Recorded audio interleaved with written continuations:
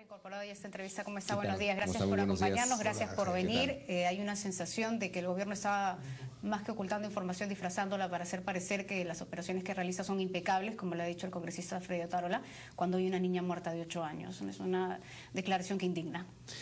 Bueno, en primer lugar, lamentar la muerte de esta niña, ¿no? Es eh, una pena realmente que en este tipo de, enfrentamiento con, con subversivos eh, terminen niños eh, muertos.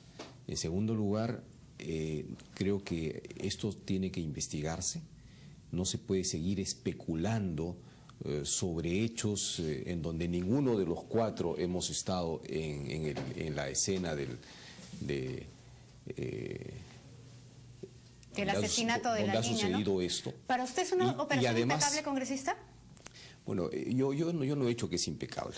Yo creo que, eh, digamos, el hecho de que una niña eh, resulte muerta ya es una cosa tremendamente lamentable. O sea, está mal que los ministros hayan dicho eso. Pero lo que no podemos... No, le, pregunto, ¿está mal que los ministros hayan dicho eso? los ministros han dicho que era una operación impecable. O sea, yo no escuché esa versión. Es su colega de bancada. Efectivamente, Freddy se refirió a esto, digamos, pero hay que entender esto en dos circunstancias, ¿no? Cuando, cuando las Fuerzas Armadas eh, y policiales, estas fuerzas combinadas, intervienen en la zona y efectivamente se produce una balacera y logran rescatar a estas dos mujeres y a estos niños, hasta ese momento, hasta donde se nos ha informado, no se sabía de esta niña que había fallecido. Esta niña fallecida recién se da cuenta al día siguiente. Entonces, ahí luego estamos especulando, hasta ahí, digamos, la situación era impecable, aparentemente. Pero luego que aparece la niña y luego que se da cuenta de eso, que además cuando se entrega a la niña aparentemente no se, la, no, no se le encuentra en el lugar donde sucedieron los hechos, sino en un lugar distante. ¿Quién la llevó? ¿Cómo la llevó? Será materia de investigación.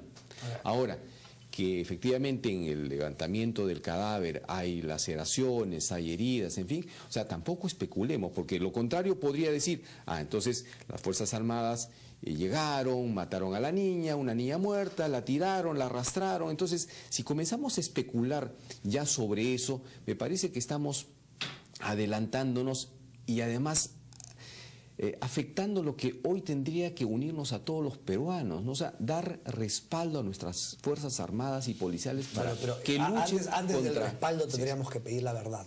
Por supuesto, y en eso estamos totalmente de acuerdo, ¿de acuerdo? Nadie puede pretender ocultar un hecho. Si hubo una intervención, si hubo una muerte, si hubo un ocultamiento, pues que se esclarezca para bien de todos. Hay que darle alternativa al congresista Javier Yo en ningún momento, y no lo haré hasta que no tenga una versión completa, pondré tela de juicio la integridad de las Fuerzas Armadas. ¿ah? Pero aquí hay hechos que tienen que aclararse. Y más bien en el gobierno y sus voceros se apresuran a presentar como exitosa una operación que deja dudas, deja dudas. Y en ese sentido yo sí creo que el haber dicho de que a los niños se les ha dado identidad cuando la tienen, el haber dicho que eh, han, intervenido tres campamentos, supuestamente es una operación de inteligencia de varios días atrás, van a los campamentos y no encuentran a nadie y solamente encuentran a una señora con sus tres hijos que no son terroristas, que no son terroristas y la presentan como el gran operativo, a mí me parece de verdad poco eh, serio. ¿eh? ¿Acaso el relato de los hechos, no solamente de la señora, sino también de algunos otros testigos, no amerita una investigación de cómo están operando nuestros uniformados, si es que realmente es así, es decir, pueden entrar a una casa, amarrar a una señora, encapucharle y decirle tú eres terrorista.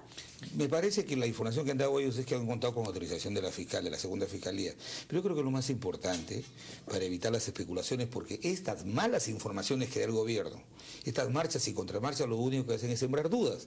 Entonces, la necropsia, la necropsia que se ha realizado el día de ayer en Cajamarca, es muy importante porque determinará, determinará las eh, características de la muerte de la menor, que es lo que queremos conocer. Bueno, la bala ha ingresado por la espalda, ¿verdad? Ha salido por el pecho según eh, el resultado de la necropsia. Pero, congresista, eh, por ejemplo, lo que sí no queda, y que eso que tiene un punto, digamos, interesante, la que es que, ¿por qué la prisa? ¿Ah? ¿Por qué la prisa en, montar un, un avión, traer a los niños, llamar a la señora Jara, a la primera dama? ¿Por qué la prisa? ¿Por qué sobre todo tratándose de niños.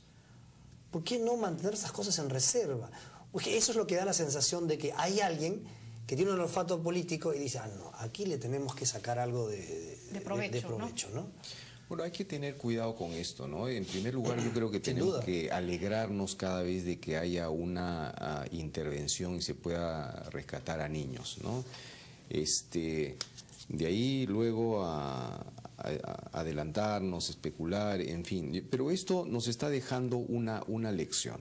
Eh, y la lección es, tenemos que actuar con suma prudencia con suma prudencia en esto para evitar, digamos, que, digamos, mientras no esté esclarecido y mientras no aparezcan circunstancias que de pronto no se conocían. Es la falta de prudencia en el gobierno la que parece que ha ocasionado todo esto. Sí, pero eh, no, no se puede desmerecer el hecho de que el esfuerzo que está haciendo las Fuerzas Armadas y Policiales y el gobierno de hacer este tipo de intervenciones, que la población las está reclamando en zonas que han sido abandonadas y donde no ha habido intervención y donde la, el narcoterrorismo ha ido ganando espacio. Entonces, es importante también destacar este trabajo. Entonces, como el pueblo reclama, yo le doy resultados. Pero en estas, circunstancias, en estas circunstancias ha sucedido algo que efectivamente eh, según se nos ha informado y según, digamos, el Comando Conjunto de las Fuerzas Armadas, digamos, no se conocía de esta víctima, claro, esto cambian las circunstancias, esto cambian los hechos, entonces hay que ser prudentes frente a eso. Quiero decir algo más adicionalmente. Cuando se captura Artemio en este gobierno fue producto de una paciente y eficiente labor de inteligencia de nuestras fuerzas policiales, con un plan que se inicia en el 2007 y nosotros nunca, nosotros desmontamos a todos los lugartenientes de Artemio. Y Artemio cuando se le iba a capturar a sus lugartenientes y todo su ejército, sus, sus, coroneles, ya habían sido detenidos unos y otros habían sido abatidos.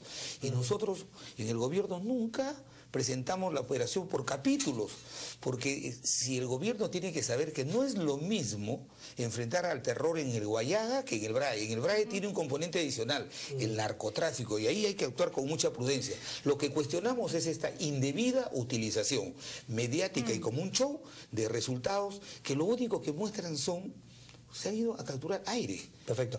Bueno, Tiempo, pregunta para respuesta breve. Encuesta de Datum dice que pregunta, ¿quién gobierna el país? 36% Nadine Heredia, 35% Ollanta Humala.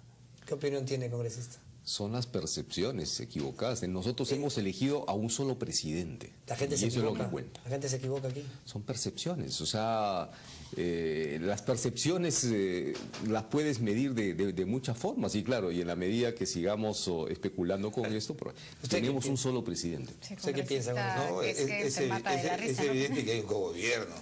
Es evidente que hay, es evidente que hay ministros que despachan directamente con la primera dama y eso cuando la primera dama dice que la ministra Salas es mi ministra y luego de los duros cuestionamientos por la imprudencia de querer mm, modificar la ley de la carrera pública magistral y la sostienen, cuando sostienen a la directora general del gobierno interior que se ha demostrado que tiene gobernadores que están vinculados a la ola violentista en Cajamarca y no pasa nada, es evidente que hay un cogobierno.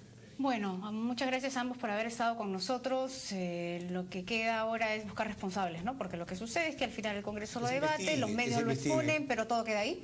No, que se investigue. Todo queda ahí y hay una niña muerta y eso pues debería tener un responsable. Ojalá que, que se llegue a esa respuesta. Muchas gracias a los dos por estar con nosotros. Muy amable.